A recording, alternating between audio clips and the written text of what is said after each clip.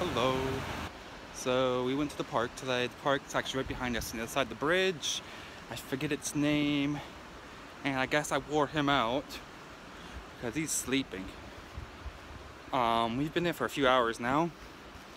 And this bridge I'm on just recently reopened because they did some re some construct construction as you can see. And now gotta carry him up a hill. So Sunday is fun day. Yeah. So now we're going off to meet Joy.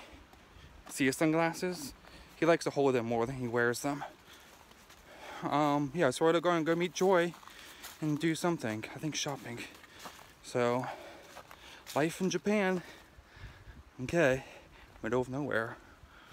Thank you. See you later. Bye.